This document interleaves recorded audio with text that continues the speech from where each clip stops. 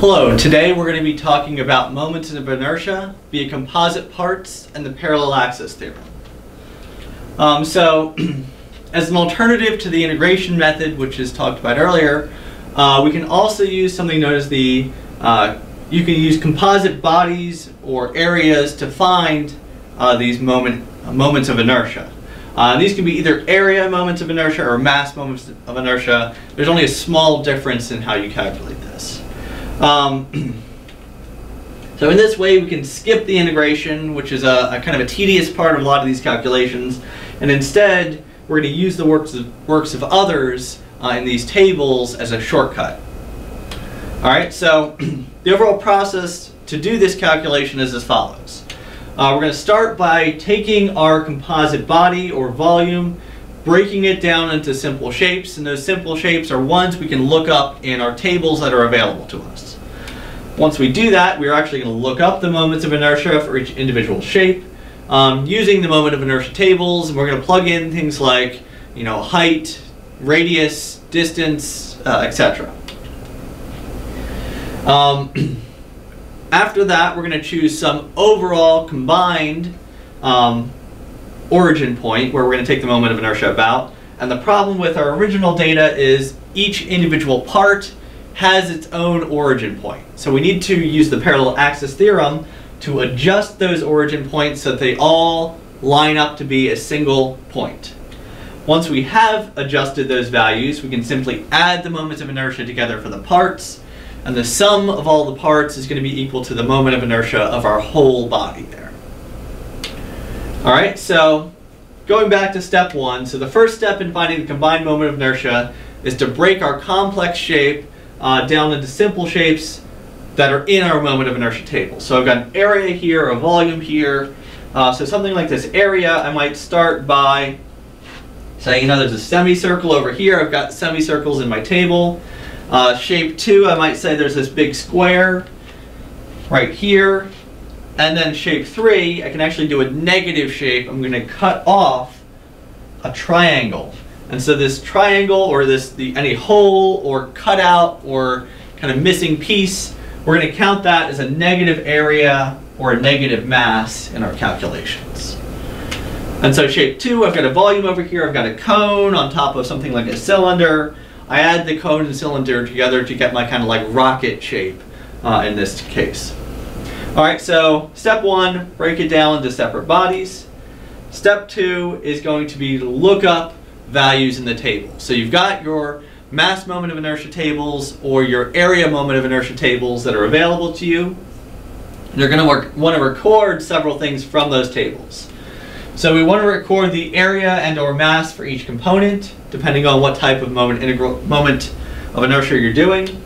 You want to record the location of the origin point used in each shape.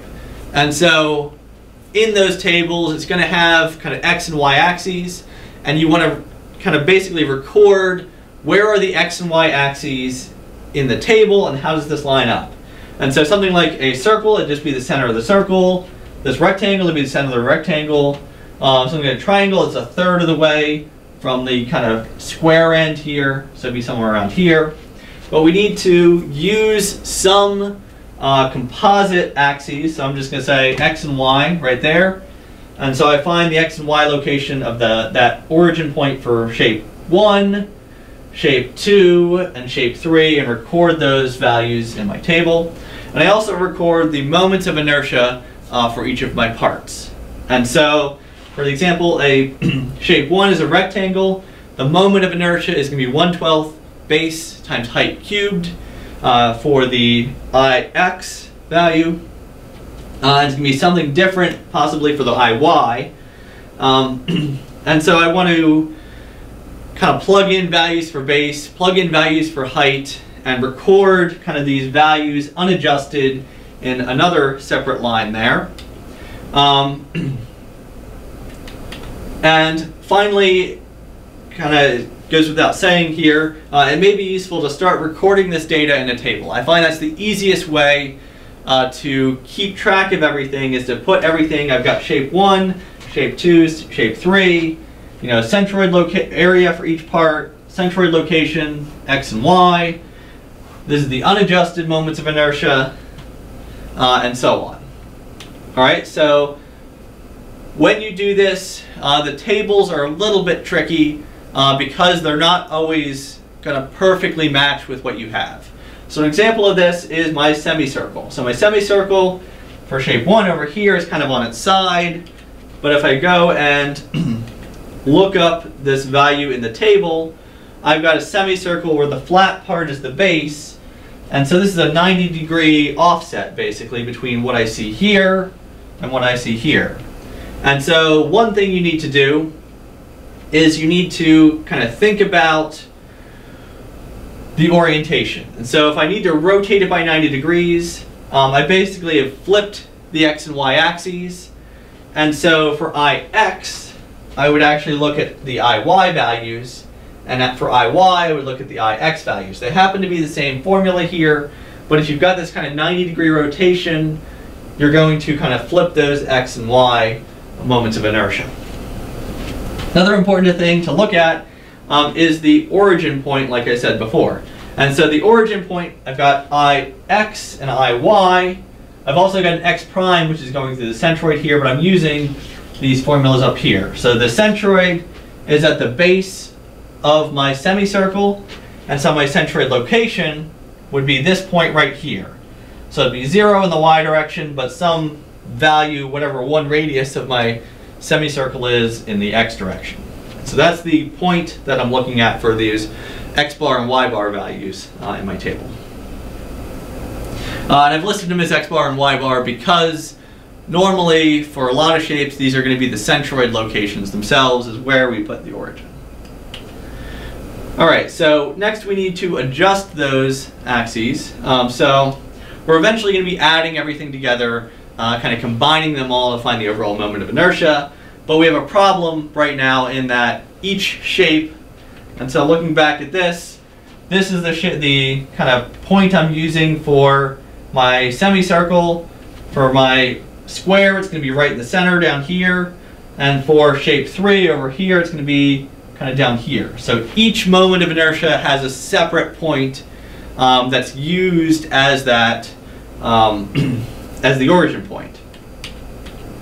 So we need to adjust it. So we have a common single point to look at. So we want a single point, uh, and generally this is going to be the centroid of the shape or the center of mass of the shape. Um, we want to adjust the moments of inertia using what's known as the parallel axis theorem so that all of the moments of inertia are about that same point. And the way we do that is with this formula. So the ix value, the moment of inertia about the x-axis for any point, is going to be ix about the centroid plus this ar squared term. And we've got the same thing, we can do the same thing with mass moments of inertia, except rather than area, we're going to be using masses. So this is why I can combine these two together, is they're really the same process, we just have one term that's different between the two of them. Alright, so area moment of inertia about any point P, area moment of inertia about the centroid, uh, and this is going to be the centroid or whatever we look up in our table. And we need to add on this AR squared term. And so this A is the area of the shape, and then the R term is the distance between the two axes.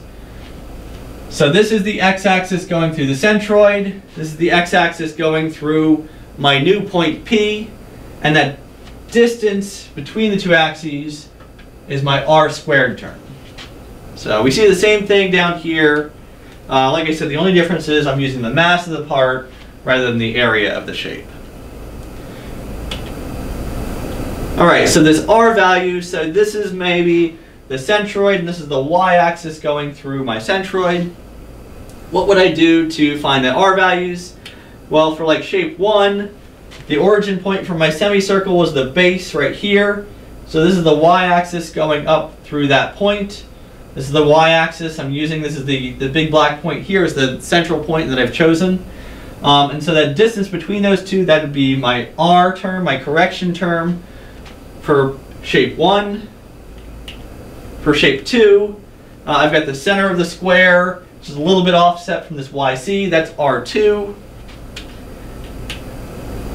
And R3, this is the center uh, of my triangle going up that way. I've got some bigger distance R3 there.